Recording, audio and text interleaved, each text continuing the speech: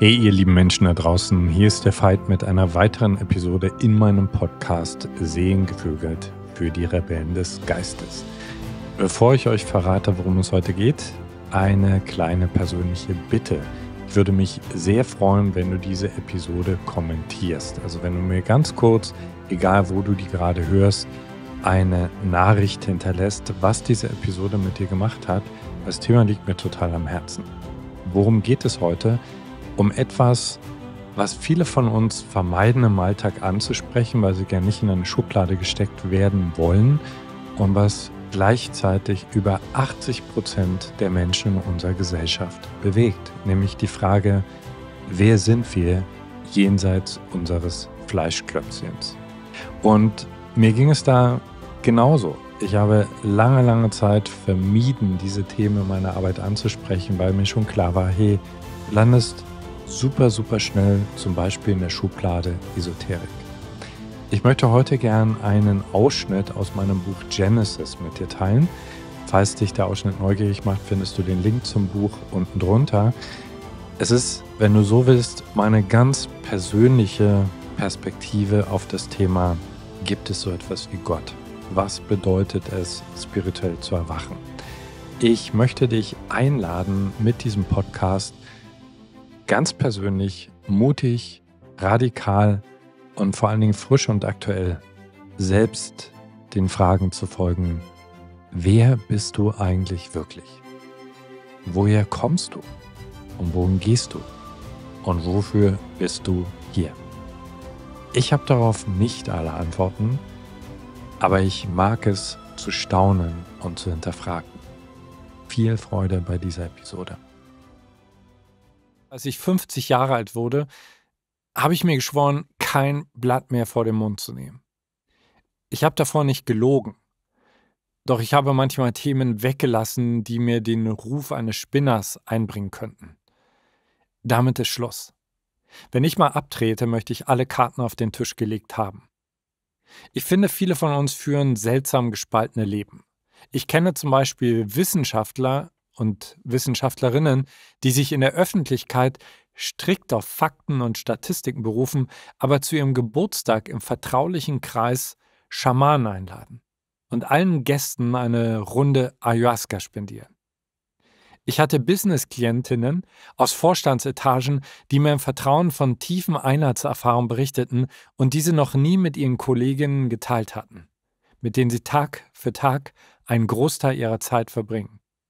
Ich kenne Politiker, die anonym ausgelassen und nackt ums Feuer tanzen, oh ja, das jedoch nie ihren Stammwähler und Wählerinnen erzählen würden.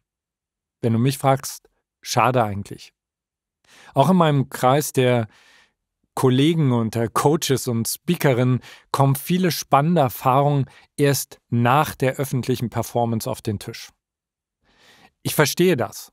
Doch ich finde, wir müssen damit aufhören. Wir müssen den offenen Fragen und der Magie des Lebens wieder mehr Raum geben. Wir wissen schließlich alle, dass da mehr ist als das, was wir wissen. Oder? Warum nicht gemeinsam staunen und forschen? Wenn du deine Sicherheit darin findest, dich nur auf das zu beziehen, was du sehen und anfassen kannst, verstehe und respektiere ich das. Doch bevor du mich als Fantasten abtust, wisse, ich bin auch ein sehr bodenständiger Mensch. Ich weiß, wo oben und unten ist. Ich habe eine wundervolle Tochter großgezogen. Ich leite gemeinsam mit meiner Frau ein Unternehmen mit 20 Mitarbeitenden und einem siebenstelligen Umsatz im Jahr.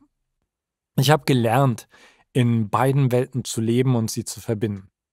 Für die Integrität dieses Buches werde ich also auch über Gott, Seele und Erwachen schreiben, weil diese namenlosen, grenzenlosen Innenräume auch ein wesentlicher Bestandteil des Lebens der meisten Menschen sind.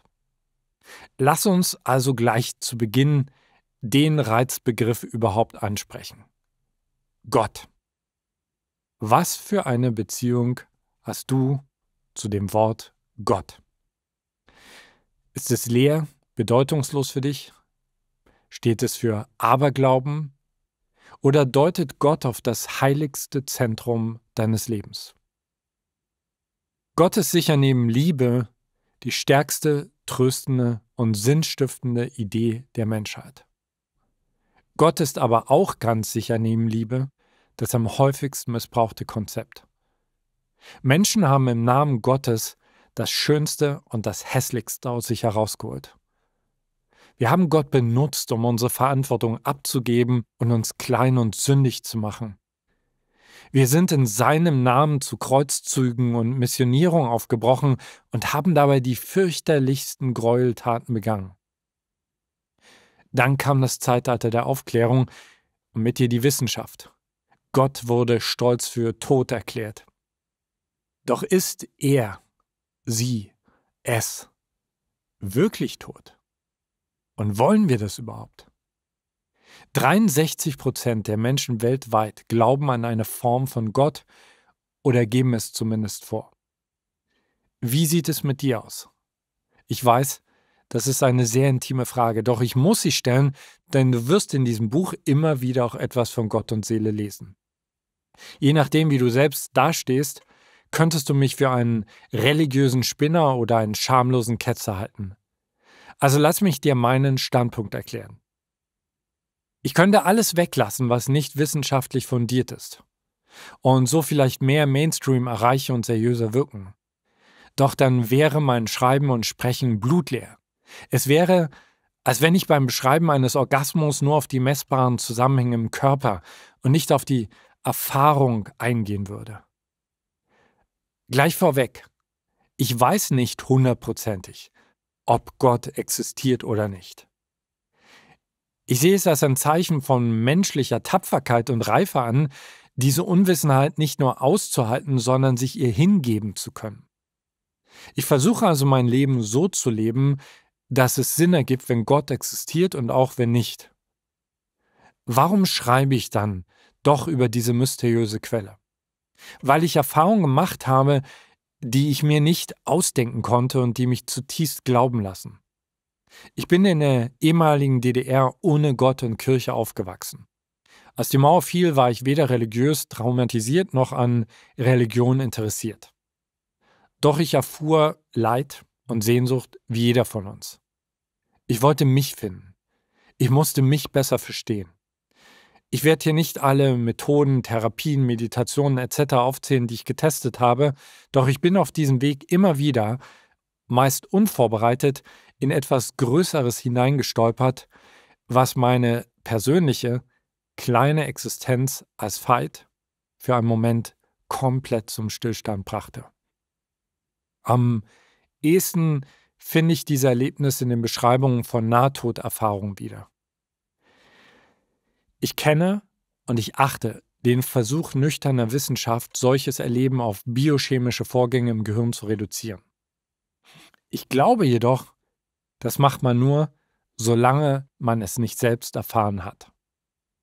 Für mich steht es seitdem jedenfalls nicht mehr wirklich zur Diskussion, ob es so etwas wie eine Seele oder eine göttliche Quelle gibt. Diese Erfahrungsräume sind nicht mit Worten beschreibbar, aber sie stehen jedem und jeder von uns offen. Da ich also die unglaublich heilsame, aufrichtende, erfüllende Kraft dieser Erfahrung kenne, muss ich darüber schreiben und sprechen. Ich wäre ein Heuchler, wenn ich diese Ebene in unserer Begegnung ausblenden würde. Ich riskiere lieber, dass mich einige falsch verstehen. Ich bin in keiner Weise religiös. Ich glaube nicht an einen Gott, der sich in Bücher bannen und durch Dogmen bändigen lässt. Doch ich verstehe und respektiere zutiefst, dass für sehr viele Menschen die Bibel, der Talmud oder der Koran ein existenzieller Halt sind. Wenn du gläubig bist, höre bitte die folgenden Zeilen sehr aufmerksam und am besten mehrfach. Ich respektiere und ehre deinen Glauben. Ich respektiere und ich ehre deinen Glauben.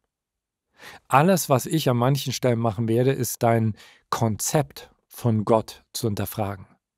Denn Geschichte hat uns gelehrt, dass eine starre Idee unsere wahre Liebesbeziehung zum Mysterium verzerren und sogar abtöten kann. Falls du nicht an Gott glaubst, setze einfach an den Stellen im Buch ein Wort ein, das du für dich akzeptieren kannst. Universum, Kosmos, Leben, die große Unbekannte. Ich sitze übrigens sehr gern mit Wissenschaftlern zusammen und lasse mir die neuesten Erkenntnisse über die neurowissenschaftlichen Grundlagen solcher die Persönlichkeit transzendierenden Erfahrungen beschreiben. Ich freue mich immer riesig, wenn sie etwas entdecken, was die Beschreibung der alten Mystiker und Mystikerinnen bestätigt. Ich möchte nur nicht mein Leben darauf warten, bis die Wissenschaft alles erklären kann, was jenseits unseres Verstandes existiert. So viel Zeit habe ich nicht. Ich warte ja auch nicht auf die Liste mit der genauen Zusammensetzung des Ozeans, bevor ich in ihn hineinspringe und ihn genieße. Zwei weitere Begriffe, die gern in einem Atemzug mit Gott genannt werden, sind Esoterik und Spiritualität. Auch darauf möchte ich mich kurz beziehen, damit keine Missverständnisse auftreten.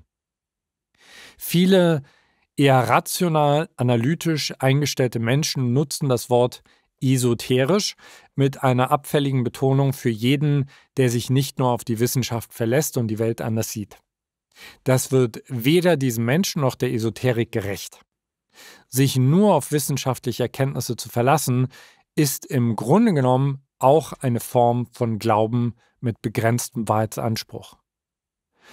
Wer lange genug lebt, erfährt, wie oft die Wissenschaft ihre Aussagen revidieren muss. Außerdem wird dir jeder seriöse Forscher oder Forscherin demütig bestätigen, dass die eigene Disziplin nur einen ganz begrenzten Lichtstrahl in das Mysterium des Universums werfen kann. Wenn ein Mensch also nicht nur an Fakten glaubt, macht ihn das nicht gleichzeitig zu einem Esoteriker. Er sieht die Welt einfach anders als du, mehr nicht. Esoterik ist tatsächlich eine alte, philosophische, sehr komplexe Lehre, die heutzutage nur von relativ wenig Menschen pro Pfund betrieben wird. Ich jedenfalls habe so gut wie keine Ahnung davon und kann deshalb auch gar kein Esoteriker sein. Wenn ich also weder religiös noch esoterisch bin, bin ich dann vielleicht wenigstens spirituell. In irgendeine Schublade muss ich ja schließlich reinpassen. Auch hier besteht das Problem darin, dass sechs Menschen gleichzeitig verständnisvoll nicken, wenn sie das Wort hören und glauben, sie verstünden darunter dasselbe. Doch wenn du nachfragst, hörst du sehr verschiedene Definitionen von Spiritualität. Für den einen bedeutet es an Gott zu glauben, so wie es in der Bibel steht. Die nächste ist hellsichtig. Sie sieht deine Aura, Kobolde, Engel und hält sich deshalb für spirituell. Die dritte hat sich im Buchladen um die Ecke ihr eigenes Glaubenssystem aus Affirmationen, Räucherstäbchen, Tarotkarten und noch ein bisschen Yoga zusammengebaut. Der vierte sieht die Aufgabe seines spirituellen Weges darin, jeden Tag ein möglichst guter, wahrer Mensch zu sein. Die fünfte hat sich dem Zen-Buddhismus verschrieben, sitzt vor einer weißen Wand und will erwachen. Und der sechste beschreibt einfach jeden sarkastisch als spirituell, der die Welt anders sieht als er. Wer hat nun recht? Alle und keiner. Es gibt keine feste Definition des Begriffes. Deshalb möchte ich dich einladen, weder jemanden vorstellen, in eine Schublade zu stecken, noch naiv zu glauben, du würdest mit allen sogenannten spirituellen Menschen im selben Boot sitzen. Frag lieber einmal mehr nach. Begreife ich mich als spirituell? Ja. Hier ist mein Verständnis. Ich wuchs, wie gesagt, strikt atheistisch auf. Als ich zwölf Jahre alt wurde, war ich oft sehr wütend und traurig, scheinbar grundlos. Rückblickend sehe ich einen jungen Mann, der wusste, dass ihm etwas Essentielles fehlt, der aber die richtige Frage einfach nicht formulieren konnte. Das war hochgradig frustrierend, vielleicht kennst du das. Mein erstes, wenn du so willst, spirituelles Erwachen hatte ich völlig unvorbereitet im Präparationssaal der Medizinischen Fakultät der Humboldt-Universität zu Berlin. Ich hatte dort ein Medizinstudium begonnen und wir sezierten im Laufe eines Jahres eine männliche Leiche. Erst die Haut, dann die Muskeln, dann die Nerven und so weiter. Hey, wir waren jung, unsensibel und wir machten eine Menge Witze über Otto, wie wir die Leiche nannten. Doch im Laufe der Zeit wurde das wöchentliche Abtragen all der Schichten zu meiner ersten ungewollten Meditation. Ohne je etwas über Seele oder Gott gelesen zu haben, wusste ich, dass das, was da vor mir lag, nicht die Essenz eines Menschen ausmacht. Etwas fehlte. Etwas war gegangen. Und seitdem will ich wissen, was das ist. Also begann ich die alten spirituellen Schriften zu studieren. Vielleicht lag es daran, dass ich schon zu alt war oder zu kritisch, doch ich konnte die Beschreibung nicht einfach als wörtlich wahrnehmen. Sie erschienen mir, auch heute noch, als zu Menschen gemacht. Ich wollte nicht einfach irgendetwas blind glauben, ich wollte direkt erfahren. Ich werde hier nicht den ganzen Weg aufzählen, aber ich hatte wirklich gute Wegbegleiter und Lehrerinnen. Ich hatte wilde und sehr, sehr stille Momente. Und das ist mein Fazit bis hierher. Wir haben einen Körper, doch wir sind nicht unser Körper. Wenn du jetzt mal in deinem Körper runterschaust, dann weißt du, jenseits von Worten, dass du das nicht bist. Wir sind viel mehr. Wir existieren jetzt in diesem Moment, auch in Dimensionen, auf die unser analytisch urteilender Verstand keinen Zugang hat. Doch diese Ebenen sind erfahrbar. Alles zu seiner Zeit. Wir können Erwachen in diese Ebenen hinein nicht erzwingen. Erwachen setzt ein, wenn wir es wählen, danach zu suchen. Und es kommt, immer anders, als wir es wollen. Und immer so, wie wir es brauchen. Wir fürchten uns nicht wirklich vor dem Tod. Wir fürchten uns, paradoxerweise, noch viel mehr vor dem Licht. Denn es gibt eine Quelle der Schöpfung. Und ihr Licht ist aus meiner Erfahrung für unser Ego furchterregend so gleißend hell, so absolut, so unermesslich.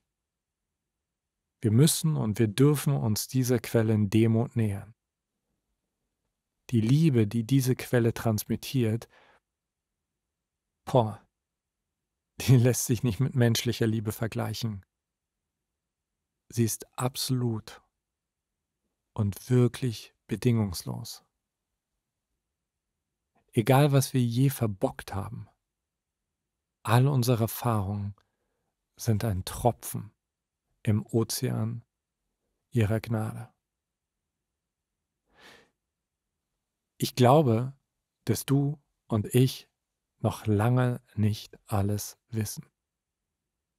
Ich glaube, dass dieses Leben eine unfassbar kostbare Chance ist, um zu staunen, und diese Zeitspanne zu nutzen, um so viel wie möglich über die existenziellen Fragen unseres Lebens herauszufinden. Wer bist du? Ich meine, wer bist du wirklich? Wer hört gerade diese Worte? Und woher kommst du her? Wohin gehst du? Und wofür bist du hier. Wenn du mich fragst, wir sollten aufhören, uns wegen eines Glaubens zu bekriegen. Jeder bewusste, reife Mensch weiß doch, dass weder ein existierendes wissenschaftliches Paradigma noch eine schriftliche Beschreibung Gottes in der Lage ist, die Wahrheit zu fassen. Wir nähern uns ihr von verschiedenen Seiten und jede Perspektive ist wertvoll. Der Christ der die Essenz seiner 2000 Jahre alten Botschaft auf das Leben im digitalen Zeitalter übertragen möchte. Die Neurowissenschaftlerin, die tibetische Mönche in die Röhre schiebt, um zu erfahren, was in der Meditation in ihrem Gehirn geschieht. Der Skeptiker, der unangenehme, bohrende Fragen stellt, wenn jemand zu sehr an einem Konzept festhält. Die Mystikerin, die die Augen schließt und die Wahrheit in sich sucht. Jeder und jede von Ihnen kann sich immer wieder mutig diesen Fragen stellen. Wer bin ich? woher komme ich? Wohin gehe ich? Und wofür bin ich hier? Und genau das ist für mich gelebte Spiritualität. Eine stetige, mutige, lebendige Reise in die Ungewissheit hinein. In diesem Sinne kann eine atheistische Person spiritueller sein als jemand, der aus Angst an ein paar gut klingenden Ideen festhält. Ich bringe dieses Thema bereits hier so ausführlich, weil ich möchte, dass du weißt, dass ich Gott und Seele nicht aus einer Schrift heraus interpretiere, sondern aufgrund von Erfahrungen, die ich dir aber nicht aufschwatzen muss. Weil ich in diesem Buch auch religiöse Traditionen hinterfragen werde und es mir wichtig ist, dass du verstehst, dass ich deinen Glauben und die Essenz deiner Religion aufs tiefste respektiere. Weil ich glaube, dass wir dringend eine neue zeitgemäße postreligiöse Spiritualität brauchen. Das Zeitalter der Aufklärung hat uns von dunklem Aberglauben befreit und das ist gut so. Doch es hat uns auch in unserem Sinn für das Sakrale irritiert. Unsere stark materialistisch geprägte Welt versorgt zwar unseren Verstand mit vielen Reizen, doch das, was ich unsere Seele nenne, findet viel zu wenig Nahrung. Der Kampf zwischen Religionen, die sich nicht entwickeln wollen, und einer Wissenschaft, die wenig Raum zum Staunen lässt, hat ein relativ kaltes, zum Teil so sinnentleertes Zwischenland hinterlassen. Wir brauchen eine Spiritualität, die nicht darauf besteht, die Wahrheit in einen blinden Glauben oder ein starres Konzept pressen zu können. Universell zugängliche Methoden wie Fasten, Meditation oder Trance-Tanz machen es vor, hier treffen sich Christen, Buddhisten, Atheisten in einem Erfahrungsraum und selbst wenn sie das Erlebte danach anders interpretieren, bleibt die Erfahrung der Ganzheit der Welt, der Verbundenheit aller Menschen. Es bleibt und vertieft sich der Geschmack von dem, was größer ist als wir. Wir brauchen diesen Zugang, um in dieser dualen, so komplexen Welt Sinn und Würde zu finden.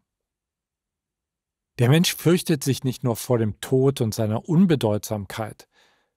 Der Mensch sehnt sich auch nach einer sakralen Erfahrungsebene des Lebens, von der er instinktiv weiß, dass sie existiert.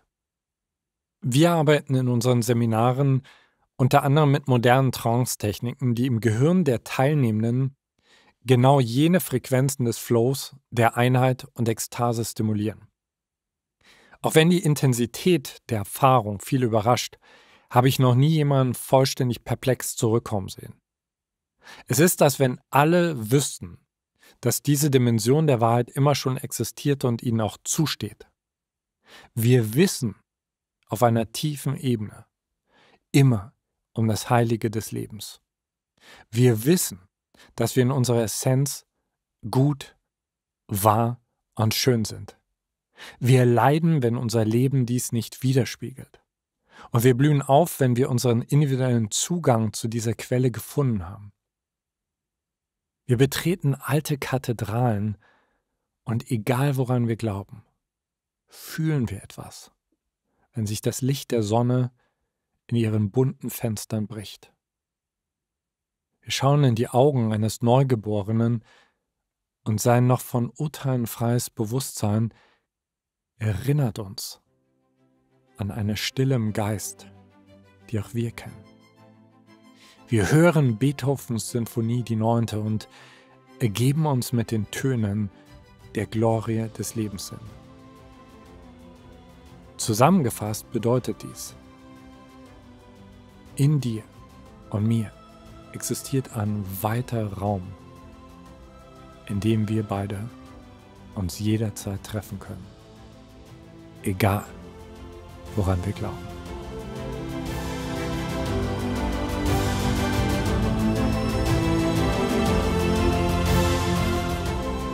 Das war eine Folge aus dem Podcast Seelengevögelt für die Rebellen des Geistes. Hat dir die Folge gefallen? Wenn ja, freuen wir uns sehr über deine Bewertung. Außerdem kannst du den Podcast abonnieren und bleibst so immer auf dem Laufenden. Wir danken dir für dein Zuhören. Es ist schön, dass du da bist.